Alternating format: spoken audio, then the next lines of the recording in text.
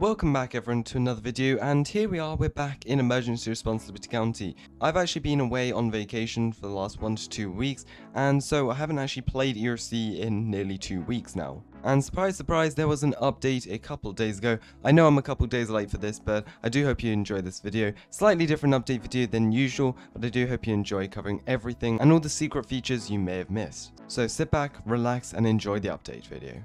Starting off with probably one of the biggest features of this update is the new bus or the transit system in ERLC. Around the map, there are now new bus stops. I believe there are around 11 in total. I may be wrong in that, but they're spread all around the map, and there is a new Valley Transport Department.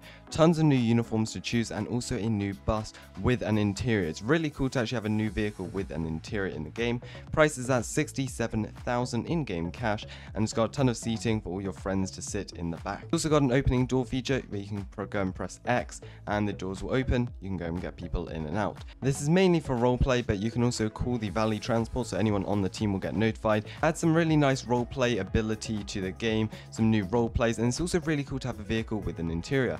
Additionally, fun fact, you can actually shoot and use melee weapons to break the windows on the bus, so it could be cool for some SWAT or police role plays of some sort. Overall, great start to the new update. Next up, we have the post office. Small update in the front, they've added some new kind of parcel and decals, and there is now a new mail van. So it's similar to the mail truck, but basically just an extended version. And as you can see here, it can fit a lot of packages or 10 packages in the back precisely. And basically what you want to do is you can go and pick up packages and post from around the map, these small blue post boxes, you also get a notification above them. You go up to the post box, you can open it up, grab them, and then put them in the back of a truck. And once you reach the maximum capacity of 10 packages or parcels, you can go and deliver them back to the mail station. People who enjoy playing on DOT are going to absolutely love this update. The first update to the DOT station in a very, very long time. Um, we've actually only had one DOT station, so we've got a completely new one now. And we've got a little tour here going on but it is absolutely amazing. There's tons of more space in there.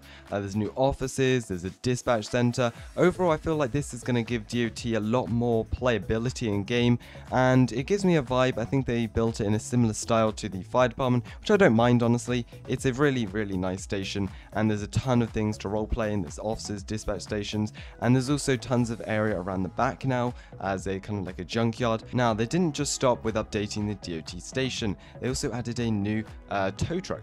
And basically this is similar to the one we've got in game, but basically it's got an actual tow on the back, so it's not like a flatbed, it's a tow truck. And all you need to do is drive up to a car in game, you can lower it, uh, lower the tow truck down, and what you need to do is you need to get the metal bar uh, between the front wheels basically. And so reverse it into the position where the front wheels are basically touching it, then an anchor UI will appear on the bottom right on your screen, and you can tow any vehicle, or most vehicles anyways. And it's a really, really cool feature. It's also may I point out, our first quote-unquote trailer in the game because the vehicle kind of acts like a trailer. It's really cool anyways, it's articulated and everything, and it's a really, really nice feature.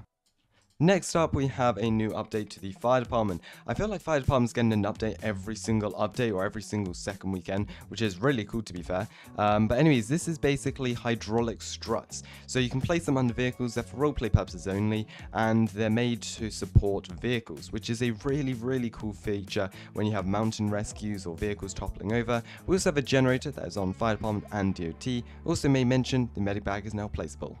Now we're getting onto some smaller updates or some smaller features in this update, but melee weapons can now break windows. I was talking about this in the beginning when I was talking about melee weapons can actually break the um, the transit bus windows, but it can also break any random windows in the game, which is a cool feature. If you love role-playing as a farmer, you are in luck. There is a new silo and a smaller barn to accompany the large barn we have in-game at the farms area, and it's a really, really cool update actually. I didn't think they'd add anything like this. And you can actually climb up the silo, you can go inside the new barn, really cool. Additionally, SWAT now have the safety line. So the safety line was added to the FD in the last update, and SWAT now have it. So you can do SWAT. Uh, if you own the SWAT Game Pass, you have this new safety line rope. You can rappel uh, or climb up of buildings. Different type of update video today, but I do hope you enjoy. Let me know in the comments what's your favorite part of this update, and make sure to subscribe for more videos like this in the future. Have a great day, and I'll see you in the next one.